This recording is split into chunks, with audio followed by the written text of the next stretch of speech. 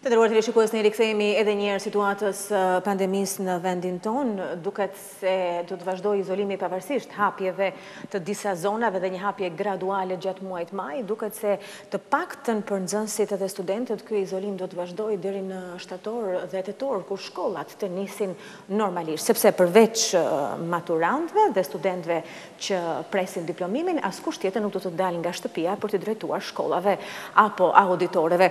Ne do të flasim tani me një mjeke dhe pedagoge të njohur, zonjën Xhensila Prendushi, që e kemi në këtë lidhje të drejtpërdrejtë, për t'u ndalur tek çështja e ushqimit dhe përballimit të kësaj situate në kushtet e shtëpisë. E shohim nëse kemi në lidhje të drejtpërdrejtë mjeken Xhensila Prendushi. Xhensila përshëndetje dhe faleminderit që e pranove këtë ftesë në ABC News. Mirë se vjen.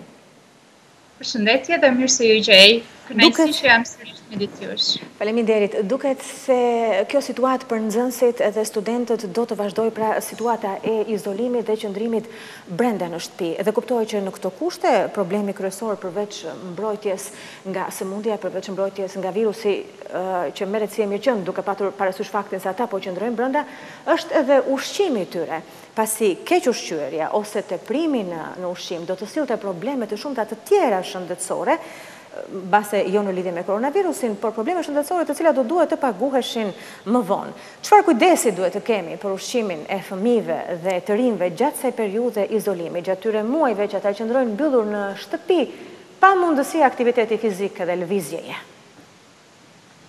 Atëherë, uh, Suel, edhe një herë unë dua t'ju përgëzoj për faktin që ju prekni një temë e cila është uh, kardinale për mirëqenien e organizmit, siç është ushqyerja. Dhe në këto momente, ushqyerja është një pikë thelbësore për sa i përket uh, stimulimit të sistemit tonë imunitar, për të qenë adekuat dhe për të na mbrojtur nga koronavirusi, i cili shkakton një inflamacion sistemik. Kështu që unë do thoja që përveç të rinjve dhe fëmijëve, ushqyerja është po aq e rëndësishme për të gjithë ne dhe është themra e Akilit bashkë me elementet e tjerë, siç është oksigjenimi, aktiviteti fizik, menaxhimi i stresit të cilët bëjnë të mundur që ne të kemi një sistem imunitar adekuat për të na mbrojtur nga agresorët e jashtëm, bakteret apo edhe viruset qofshin ato. Kështu që e rëndësishme është që ne duhet të kuptojmë që dita jonë duhet të ndahet në 5 vakte, tre prej të cilave janë vaktet kryesore, mëngjesi dreka dhe darka dhe midis tyre janë vaktet e ndërmjetme, ku asnjëri prej këtyre vakteve, tre vakteve kryesore, nuk duhet të kapërcehet ose është i rëndësishëm. Dhe kjo në përditshmërinë tonë dhe aq më tepër sot, në momentet kur ne jemi duke kuptuar se sa i ndjeshëm është organizmi jonë ndaj agresorëve të jashtëm.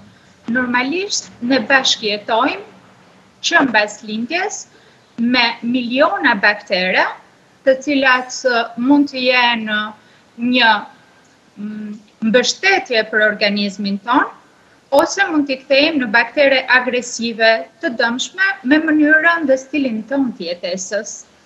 Kështu që Unë do, do ju këshiloja që shpeshherë ne kapërcejmë mëngjesin për të ruajtur atë që quhet forma jonë trupore, por mëngjesi është themeli i ditës tonë. Kështu që ju lutem, nuk duhet harruar konsumimi i mëngjesit dhe uh, është një fillim ose një start i mirë për ditën. Me... Përse? Po? Po, jo, do, do, do doja të pyesja që ndërkohë, duket sikur njerëzit, nuk është problemi që mbase po e lënë ushqimin, përkundrazi është vënë re një, një shtim i tepruar i vëmendjes për ushqimin. Unë ju referohem gjithë atyre pamjeve që ne kemi transmituar të njerëzve të cilët dynden nëpër pazare dhe mbushin çanta plot e përplot, apo karroca plot e përplot dhe i çojnë shumë ushqim në në shtëpi, një ushqim i cili konsumohet duke qenë atje. Madje i kanë kthyer shtëpitë e tyre në minimarkete të vogla, mbase në fillim nga frika apo paniku që i kapi se nuk do të kishte furnizim të mjaftueshëm. Mirëpo kjo i ka çuar ata në në në në përdorim të të tepruar të të ushqimit. Çfarë janë duke i bërë vetes pasi do thoja problemi i parë dhe më i dukshëm është ai i obezitetit. Obeziteti është një nga problematikat kryesore që çon në një inflamacion kronik të organizmit dhe që shoqërohet me një sërë problematikash të tjera shëndetësore, siç janë hipertensioni arterial, sindromi metabolik, që shoqërohet me një inflamacion kronik të brendshëm në organizëm, siç është diabeti tip 2, gjë që duhet të konsumojmë Patjetër, ushqimet, por duhet t'i konsumojmë ato me masë, sepse dhe gjërat e shëndetshme, në qoftë se nuk konsumohen me masë, ashtu siç thotë populli, gjella me kripë dhe kripa me karar, atëherë kthehet në një faktor dëmtues për organizmin tonë, për sistemin tonë imunitar.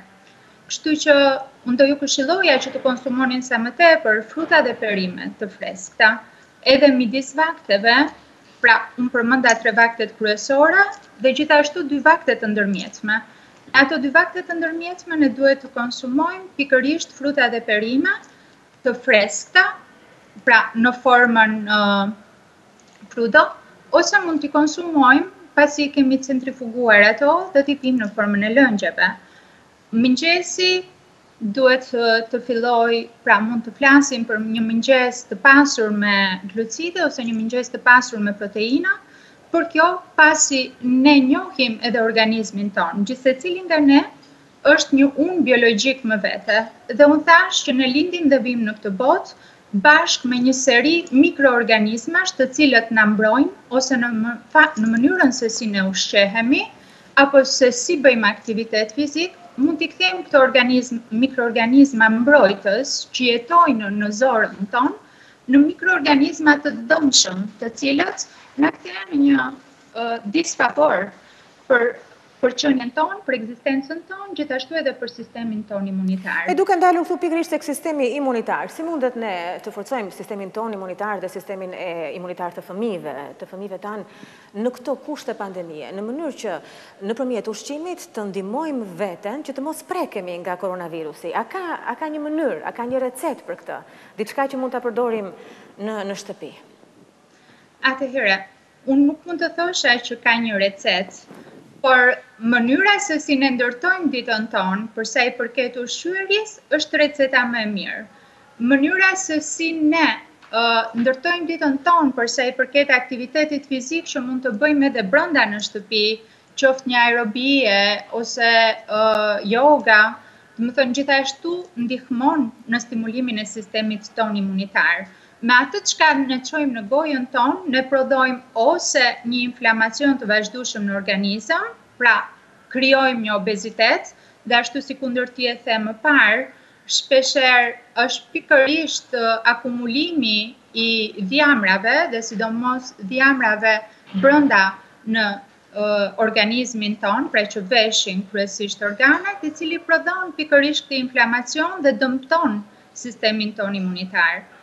Pra, ne jemi të ngjashëm aq sa që jemi unik. Gjithsecili nga ne është unik.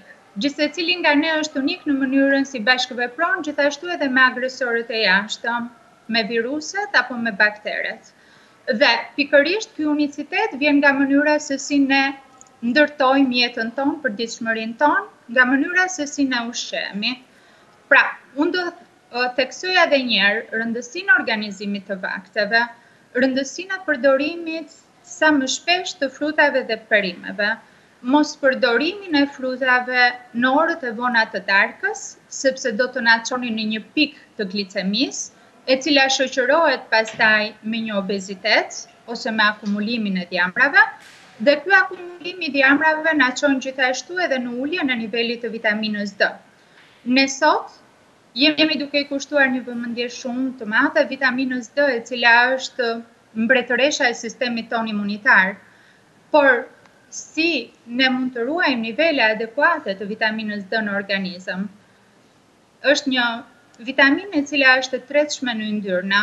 Është një vitaminë e cila nëntëdhjetë për qind e saj prodhohet vetëm nga ekspozimi në diell.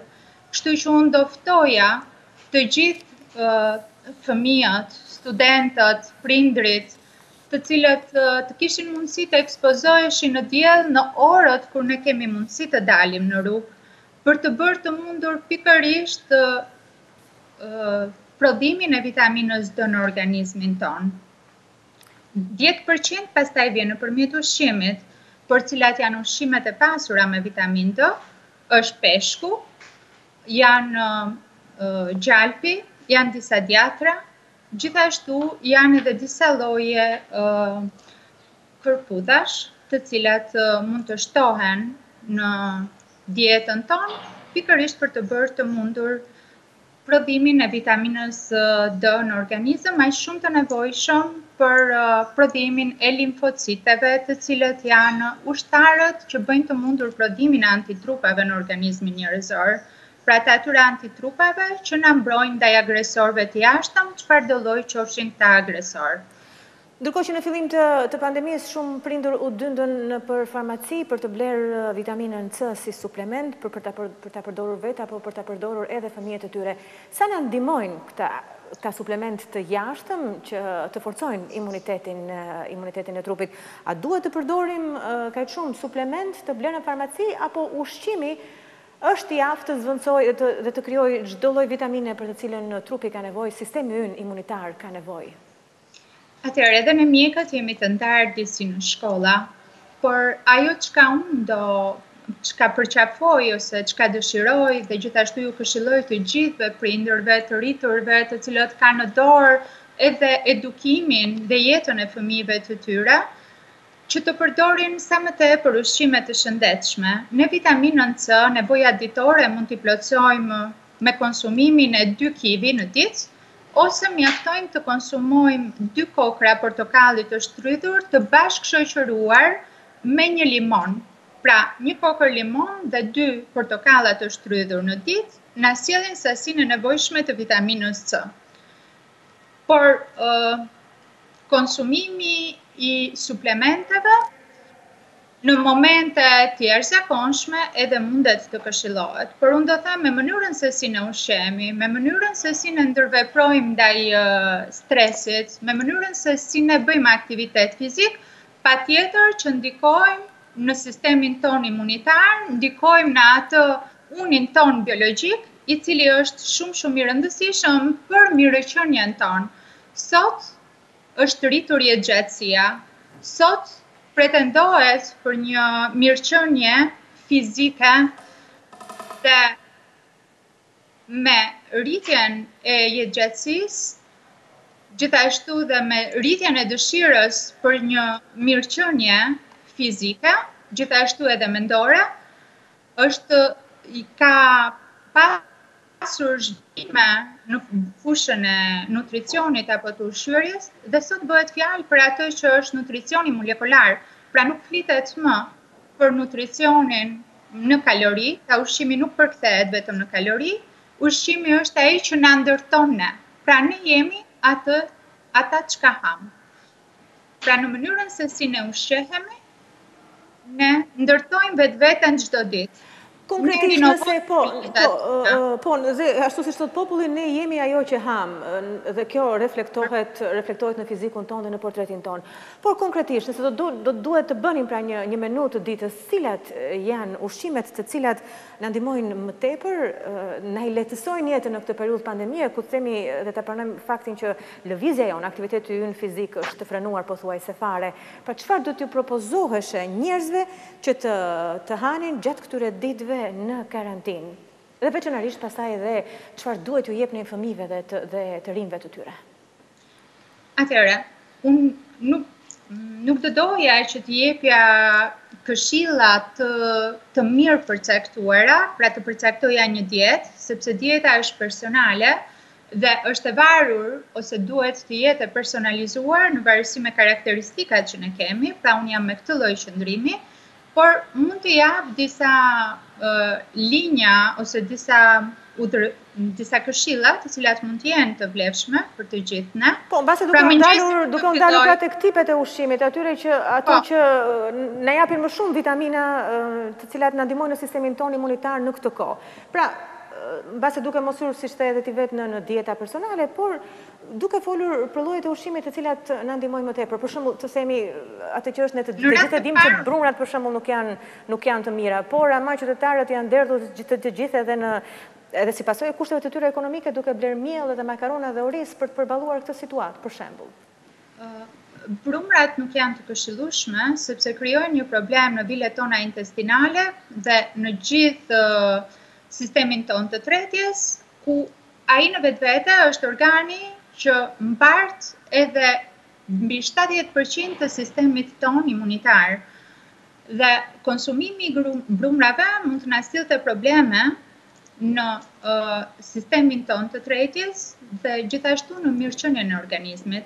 Por ajo çka unë do këshilloja është përdorimi i miellrave integralë për përgatitjen e ushqimeve, përdorimi i Gjithashtu, sa më tepër i frutave dhe i perimeve, përdorimi i petëzave të thekrës ose petëzave të të grurit ose edhe vetë farat mund të përdoren, pra gruri, thekra në formën e tyre të plotë mund të zihen dhe të përdoren në formën e salatrave të pjekura ose të ëmbla, po, dhe kjo është drejt, një ka po, format shumë të rëndësishme. Pak më herët, ju thatë që këshilohet gjalpi apo djathi për shkak të përmbajtjes së tyre të vitaminës D. Po përsa i përket mishit, çfarë lloje mishësh, lloje mishash mund të konsumojmë në në këtë periudhë? Peshku është më i këshillueshmi në këtë periudhë dhe në çdo moment. Unë do këshilloja përdorimin e peshkut të paktën 2-3 herë në javë për kë e ka të mundur. Por, nga mishrat, sot gjithmonë e më tepër këshillohet përdorimi i mishrave të bardha, siç është mishi i pulës dhe gjithashtu viçi mund të përdoret mishi i kuq një herë në javë dhe Mishrat janë një furnizim mjaft i mirë për organizmin me proteina që janë shumë të nevojshme për të ndërtuar pikërisht organizmin tonë. Ndërkohë, duke nisur nga fundjava lëvizjet lëvizjet lehtësohen, mundet të dalin jashtë prindërit me fëmijë, siç e mësuam nga njoftimi Nga njoftimi i qeverisë, dhe në vazhdim lëvizjet do të do të lehtësohen dhe njerëzit mund të dalin më shumë në rrugë. Dhe këtu ne i rikthehemi asaj çështjes së përdorimit të maskave. A duhet fëmijët të përdorin maska dhe janë duke i përdorur njerëzit siç duhet maskat në në rrugë? Kjo është një temë mjaft e mprehtë dhe Të duartrokas, sepse paske kapur vërtet mirë. Shpeshherë, kur na ka ndodhur të dalim në rrugë, ose kur mua më ka ndodhur të dal në rrugë, hedh sytë dhe shikoj që njerëzit ditët e fundit janë shumë të shpenguar dhe ose janë pa maska, ose nuk respektojnë distancimin fizik, ose edhe në qoftë se kanë maska, nuk i mbajnë ato si duhet. Në momentin që maska vendoset, duhet që ajo të mbulojë hundën, gojën, të cilat janë pikërisht këto organe që bëjnë të mundur shpërndarjen e virusit në ambientin përreth dhe gjithashtu që bëjnë të mundur ekspozimin e njerëzve që janë përreth nesh ndaj covid nëntëmbëdhjetë-s ose dhe ndaj viruseve të tjera. Unë do këshilloja sot ka një qëndrim mbarëbotëror që maskat për momentin janë mandatore ose janë të detyrueshme të përdoren si nga personat e shëndetshëm, pra në dukje të shëndetshëm, sepse shpeshherë ne mund të jemi të shëndetshëm dhe jemi asimptomatikë, sot gjithsecili nga opinioni publik ka filluar të mësohet me faktin që pavarësisht se ne jemi të shëndetshëm, ne mund të jemi mbartës të virusit, pra ne nuk kemi shenja dhe simptoma dhe e përhapim atë, pra jemi një faktor risku për uh, miq, shokët, të afërmit tanë që mund të jenë pranë nesh. Kështu që maska na mbron pikërisht në këto raste, sepse në rastet që mund të kenë shenja dhe simptoma, njerëzit ruhen. Kështu që unë do këshiloja që prindërit fëmijët, studentët në momentin që dalin në rrugë të përdorin maskat, pra të mos evitojnë përdorimin e maskave, e di që nuk është e këndshme, e di që shumë prej nesh nuk janë mësuar të mbajnë maskën, por në këto momente është duhet të bëhet pjesë e stilit tonë të jetesës për të na mbrojtur ne, për të mbrojtur të dashurit, familjarët tanë, miqtë tanë. Pra gjithsecili nga ne në këtë rast mund të bëhet një mbrojtës i shëndetit të vetes dhe gjithë tjerëve. Unë do i ftoja të dalin në rrugë, do i ftoja pikërisht të dalin në rrugë dhe të shfrytëzojnë ato orët e lira për t'u ekspozuar në diell, gjithashtu për t'u socializuar duke respektuar distancën fizike dhe për të përmirësuar atë që është shëndeti ynë qoftë edhe ai mendor. Ne jemi një qenie sociale, njeriu është një qenie sociale, ka nevojë për të qenë në mënyrë të vazhdueshme në kontakt me të dashurit, njerëzit e vet dhe këto momente socializimi ndikojnë gjithashtu në forcimin e sistemit imunitar, por duke respektuar ato që janë rregullat e momentit, pra përdorimin e maskave, distancën sociale, larjen e duarve dhe të gjitha këto bashkë në qoftë se respektohen nga gjithsecili prej nesh, ne ndihmojmë sistemin tonë shëndetësor, ndihmojmë mjekët, kolegët tanë që janë aty në vijën e parë. Të falënderoj shumë, doktoreshë Prendushi, të falënderoj për intervistën që dhatë sot për ne për ABC News, shpresoj që t'ju kenë dëgjuar, veçanërisht prindërit, e për të, për të vënë sadopak në jetë këshillat që, që ju na përcollët. Ju falënderoj edhe ju uroj punë të mbarë. Falënderoj edhe unë.